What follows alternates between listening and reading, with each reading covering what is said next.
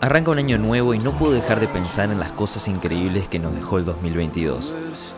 Experiencias por el mundo que compartí junto a ustedes y me emociona saber que solo es el comienzo.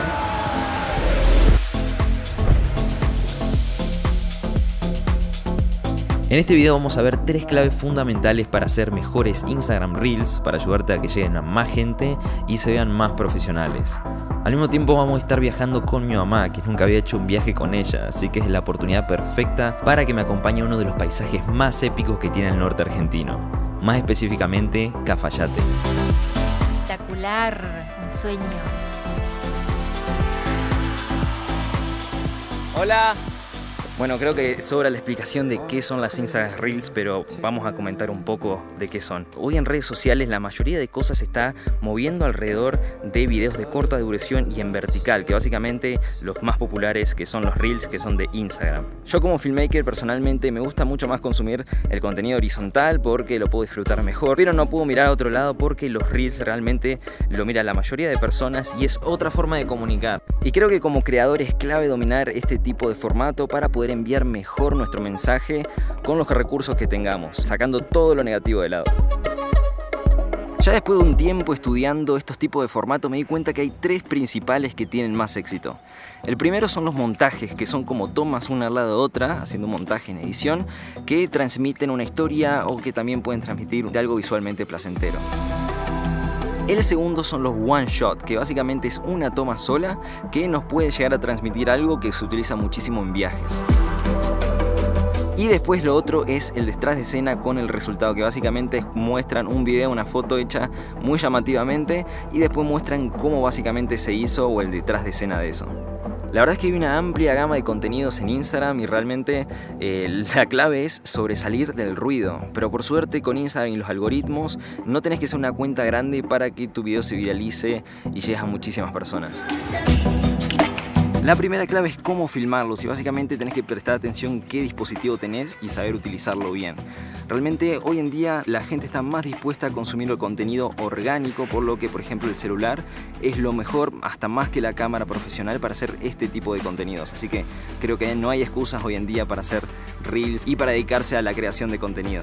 La clave es tener un celular que filme una calidad aceptable y poder filmar lo más estable posible. Si no logras un buen resultado por ejemplo con la mano, hay muchos dispositivos para el celular como por ejemplo el Osmo Mobile, que es el, personalmente el que yo uso, que la verdad es que me ayuda a hacer tomas más creativas y si quiero hacer movimientos más profesionales y demás, la verdad es que viene bastante bien, pero tranquilamente lo puedes hacer con tu celular en la mano, lo sacas en el momento que surja y poder empezar a filmar. El celular es lo único que necesitamos. Además, para hacer tus reels mucho más ricos visualmente, te recomiendo que utilices los diferentes lentes de cámara que trae tu celular para poder tener resultados más diferentes y para que no se vea todo con la misma focal.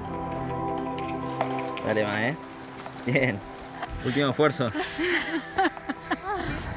Qué hermoso el paisaje. Bueno, en este caso vamos a hacer otro tipo de toma con las montañas de fondo y las dunas que se ven increíbles. Vamos a usar los tres focales para crear profundidad con las montañas. Ahí vamos.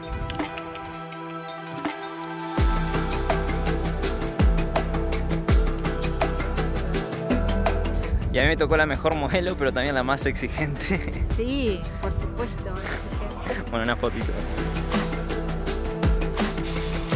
La siguiente es la idea y la verdad es que es muy importante, al mismo tiempo bastante difícil, porque no sabemos qué video se puede llegar a ser viral, pero podemos darle unos ingredientes para potenciarlo. Nuestras ideas, por ejemplo, pueden salir de tendencias o de audios que sean populares en el momento, haciendo que la plataforma eleve tu contenido, pero ojo, vamos a intentar hacerlo lo más temprano posible porque cuando hay una saturación, la verdad es que se repite, se repite este tren y es más difícil sobresalir entre tanto ruido.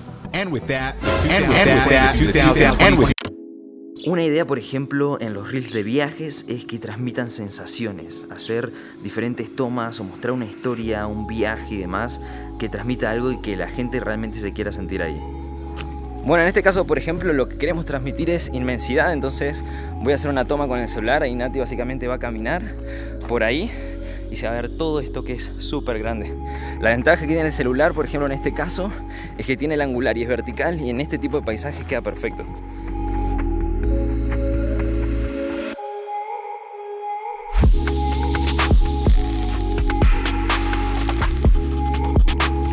Si por ejemplo nos ponemos a analizar Reels, por ejemplo este video que yo subí de Noruega, que básicamente es abriendo la carpa, llegó a casi 3 millones de visitas y 193 mil likes. Y realmente la verdad es que es una toma muy sencilla, es un one shot directamente yo abriendo la carpa y mostrando la inmensidad y lo lindo que es el lugar, pero lo que tiene de interesante es como está filmado en primera persona, es que realmente la gente se siente como identificada y comparte con la gente que le encantaría estar en ese lugar.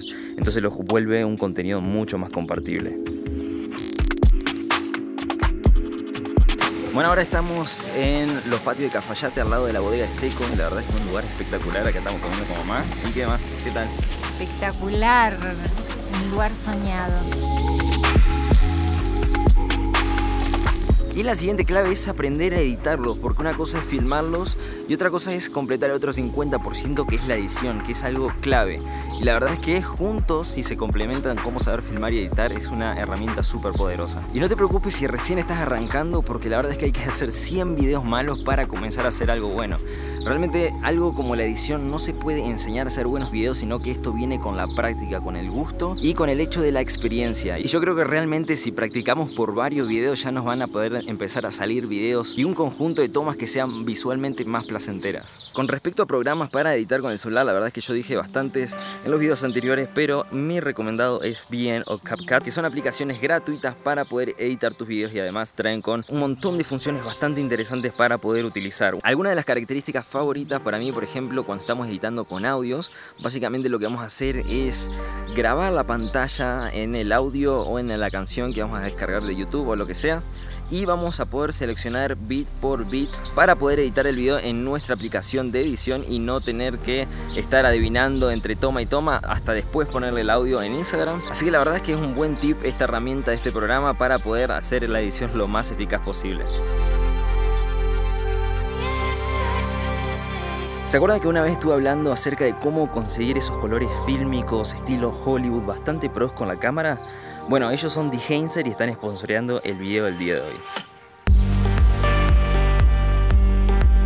Bueno, resulta que crearon una aplicación para editar fotos y videos con el celular y básicamente con estos mismos efectos de cámara vintage.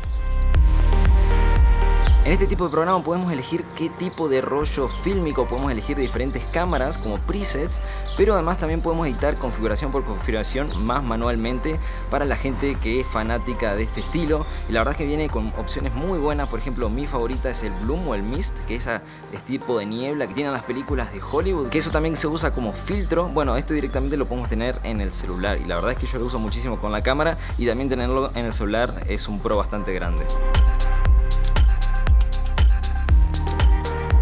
En una de mis últimas historias la estuve probando con varias historias y la verdad que gustó mucho, así que si quieren probar les dejo el link en la descripción de Apple Store si quieren probarlo y van jugando ahí con los filtros. La clave número 3 es utilizar las opciones que vienen en la aplicación en Instagram. ¿Y por qué es esto? Porque es considerado mucho más orgánico. Por ejemplo, las letras de Instagram. En vez de utilizar el editor para poner las letras que queremos agregar o subtítulos, lo vamos a hacer directamente desde la aplicación para que quede más orgánico visualmente. Así también agregar voz en off o subtítulos cada vez que estamos dando algo educativo, por ejemplo, para hacerlo más claro posible y poder así capturar la atención del espectador.